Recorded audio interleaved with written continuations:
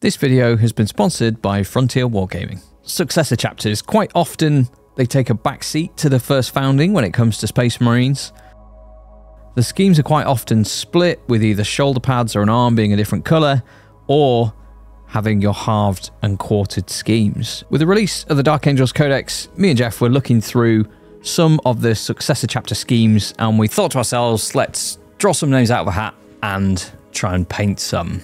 Never done any kind of split scheme before. See if I get one. Could be a train wreck. Let's see what happens. Right, I'm up first and I have... Oh, piss. Penitent Blades. I'm going to have to think about this one.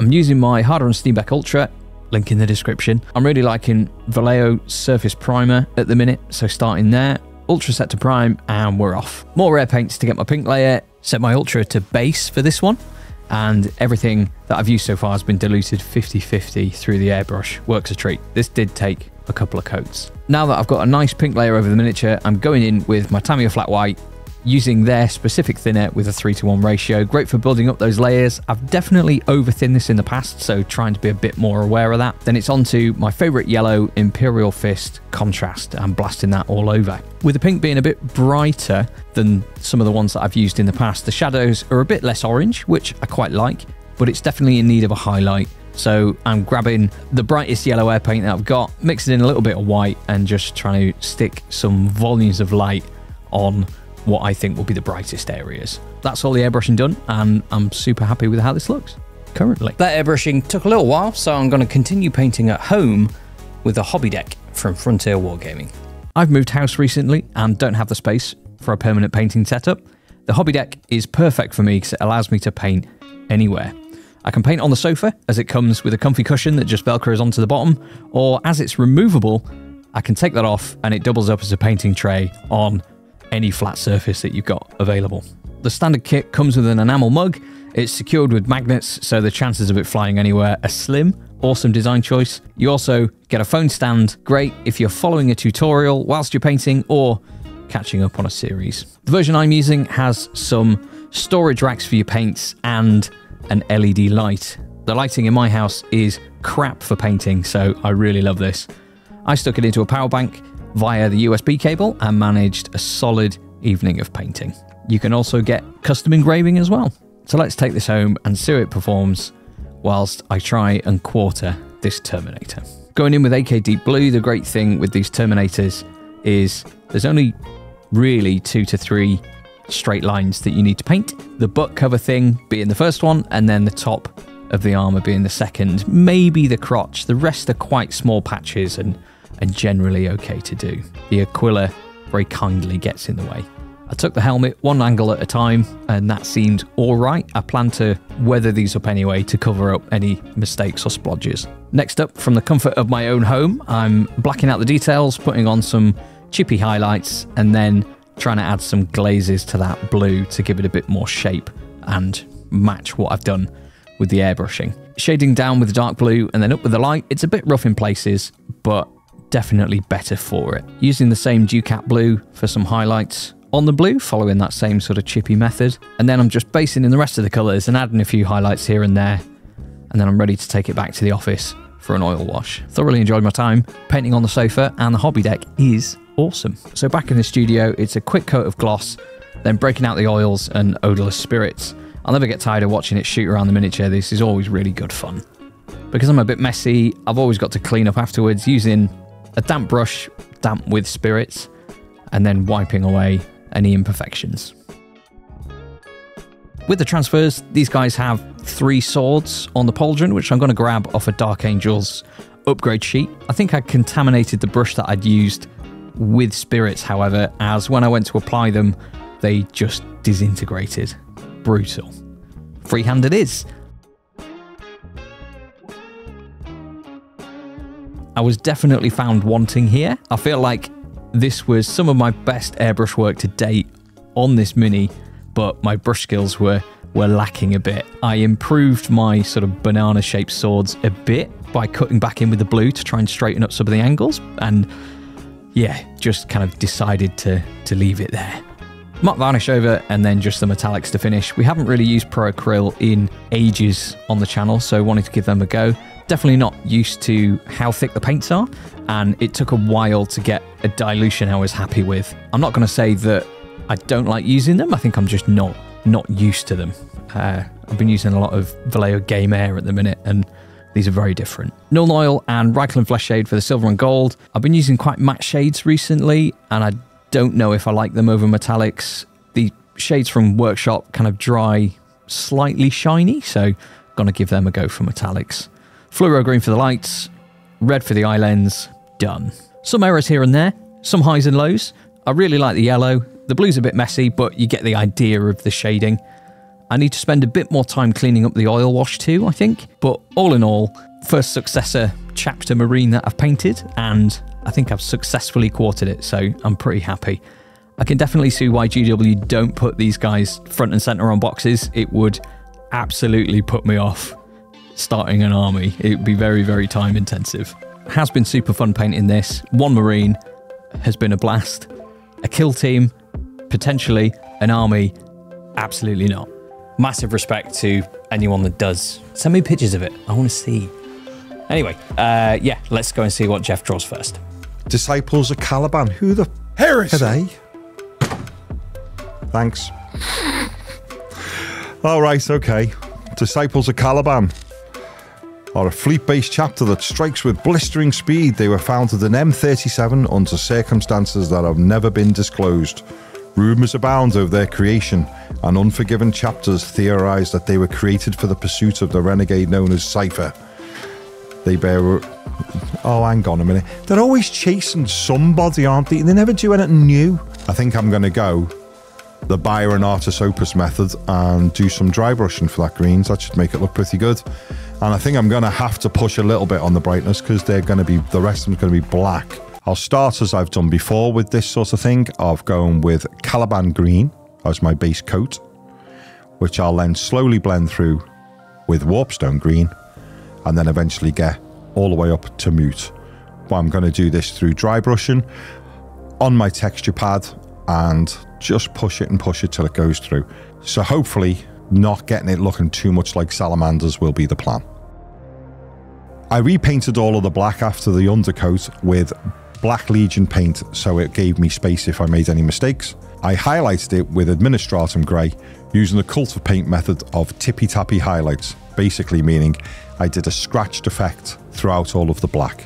The Aquila, the Crux Terminatus on the shoulder, and the matching one on the knee were all painted with a mid grey and then highlighted with a light grey.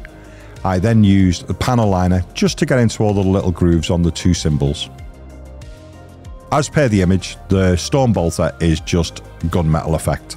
I've given it a quick wash over with Nuln Oil. The wing skull and ammunition has been painted in Retributor Gold with a with a quick wash of Reikland Flesh Shade. The lenses were done in the tried and tested method of a red base, orange highlight, and then just two little white dots right at the very ends of the lenses. The last thing I did was to give the green armour a weathered and scratched effect. I did this by going back to Caliban green and using that as the dark scratch colour and using Moot as the highlight edge alongside it. A Disciple of Caliban, all completed. For what I thought was going to be a really boring looking miniature, black against green, I actually quite like him. I really went to town on the scratching to try and make him and the battle damage to make him look as interesting as possible. And it's created quite a punchy looking green effect. I'm quite pleased.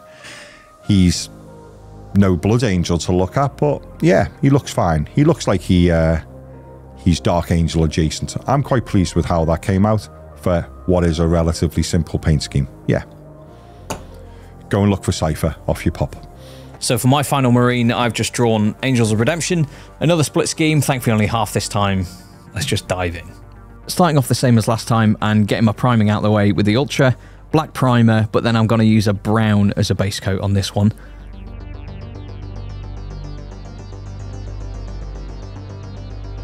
Back to my Tamiya flat white, and speaking of over thinning, I think I did that here. Few mistakes, few bits of spider webbing as you can see. I mixed up a bit more of a concentrated mix and then went over it again and hopefully sorted it. For airbrushing, I've really been enjoying Tamiya Flat White. I've tried using inks but had problems with reactivation at a various degree of leaving things for hours and sometimes even days. So I'm, I think I'm just avoiding them from from here on in. Yeah, can't recommend this enough. Time to get the bone sorted. I'm going to use a thin down mix of Skeleton Horde all over. I think I probably went a bit too heavy, but at the time I thought it was okay. Moving on to the green, I wanted to try and use my work on the Zenithal, so tried out a contrast paint in the hope that I'd get a bit of a gradient built in, having done all that work previously. In short, it didn't work, and I just painted over it with black green from AK and approached it with a similar glazing technique to last time.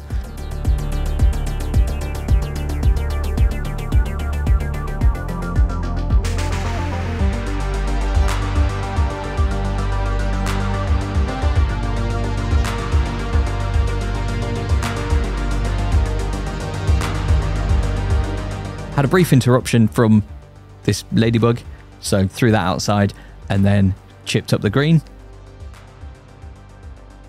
I know Pale Sand gets a lot of love online, but I've really been enjoying Buff recently, so chipped up the bone with that. I should have highlighted the bone with the airbrush like I did with the yellow, um, but we live and learn. It strays a bit too far into muddy-ish bone here and there, I think. The contrast between the brown and the bone is is is quite strong. So we meet again whilst I'm just waiting for a layer of gloss varnish to dry. I'm going to go in with an oil wash just to get the recesses. Can't be bothered using two colours for each side, or one colour for each side. So I think I might just mix a black and a brown together and and see what happens. I also need to try and do the transfer, and I'm looking at the um, at the shoulder pad, and I'm, I think I might be able to chop up a Raven Guard symbol and then plonk a skull in the middle of it. That's going to be the plan if I can uh, if I can find find everything.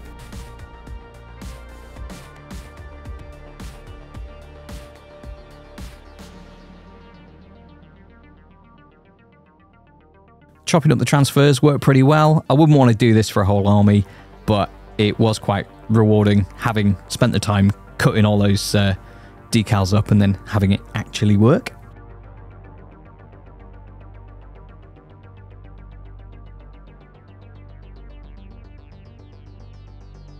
Back to the air metallics, same wash as last time, job's a good. Overall, I'd probably say I'm not quite as happy with this one as my Penitent Blade. I think the bone lets it down a bit. Quite happy with the green. Maybe too much brown, not enough of a highlight. I'm not 100% sure where I went wrong. I think, you know, I could say it's it's grim dark, but I think it's just a bit a bit muddy, especially at the back. So maybe more white and then less of the contrast maybe. I don't know. Let me know what you think. All that aside though, it definitely looks like an Angel of Redemption, so I will take it. Guardians of the Covenant. Comes up with these bloody names. Right, let's have a look at them. It's not known from what founding the warrior monk of the Guardians the Covenant came, only that they too are unforgiven. Their adopted home world, Mortecath 7, possibly. They are looking like they are lead belcher and quite simple scheme actually. Black shoulder pads. They, yeah, I think I'm going to be all right with these, you know. Um, yeah, ah, there we go. Actual some Terminator ones as well. Okay, yeah, so let's get cracking on with them as well then. So after priming the Terminator black, he was then primed again with lead belcher spray from Games Workshop. So I decided to paint all of the black bits first, being the shoulders and the undersuit and both of the weapons casing. And did this mainly because I thought if I get the black onto the uh, lead belcher, it's easily corrected. Once I'd done that, I then went ahead and used a very thin down mix of Basilicanum Grey and Contrast Medium to be able to get a, just enough that it took the slightly strange shine of Lead Belcher off the miniature. Once that was all done, I went to my favourite and tried and tested method when it comes to painting anything silver is I cracked out the panel liner, my one coming from Tamiya, and went round the whole miniature doing my best to catch all of the small grooves, give the miniature just a bit more depth. All of the Leadbelcher armour was highlighted with AK dark aluminium, and this gave it a nice punchy effect. I also, at the same point in time, went in and did some small scratches, mainly on the legs and the power fist. I highlighted the Aquila, the Crux Terminatus, and the matching one on his knee, all in standard grey, followed by a light grey and a very small spot highlight of white. I used a medium grey just to give the black shoulder pads a quick edge highlight. The Terminator's lenses were first painted in black just to leave a nice outer edge. I then used AK white to fill them in. I then went in with Frostheart contrast paint, filled the eye socket. Once it was dry, gave it another dash of the white. The Terminators actually have one leg halved into red, which wasn't really in my plan to be fair, but um, I think I'm going to have to crack out some tape and put that in that way. I think it'll be fine. See how we get on. Although it was difficult to do with using the trailing leg, with it being the one which doesn't have the Crux Terminator symbol on it, I had to try and get the tape in there as best I could. I wasn't massively sure how this was going to work out. I took it as near as I could and then just filled in at the very, very end, left it to dry, took the tape off, and it looked, if I do say so myself, pretty good. To make the leg of the Marine match the rest of the Marine, I gave it some light chipping. After that was the bit that I've been dreading most, which was the decals. Managed to find reasonably large white swords on a black Templar sheet. And thankfully, we had two of those sheets, so we got these swords and decided what, angles we think they would work at and crossed them over.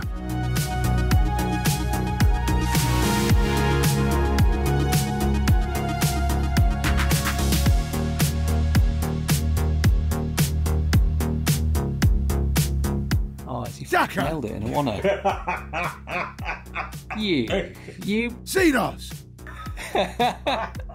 Once both lots of decals were dry, I went back in and I chipped them up with the base colours that was underneath them. Here he is, Terminator of the Guardians of the Covenant chapter.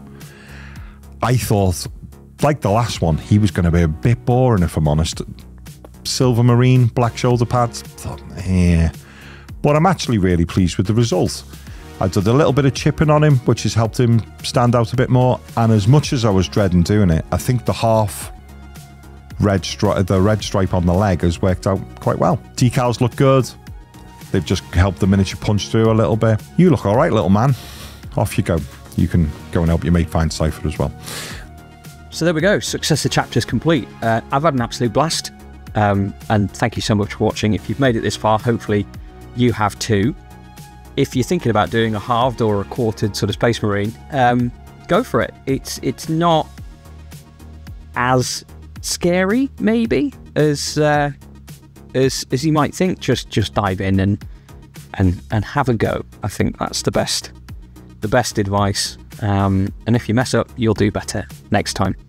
Um, but yes, I've got this Dark Angels box, and I might. That's going to be in my next video, painting all of this. I might do normal Deathwing. Um, we might do one of these. Let me know in the comments what I should do. Bully me into doing something. Yeah. Anyway, uh, thank you so much for Frontier Wargaming sponsoring this video. If you uh, want a cozy painting station, this this really is a great way to go. I've had uh, really great fun. Um, really, really comfortable uh, painting sessions um, using it on the sofa and uh, being a bit more social whilst painting rather than locking myself in a room or something like that. So, uh, thoroughly uh, recommend that if it's something that you want to try. Thank you so much for watching, and thank you so much to our patrons. We shall see you in the next one.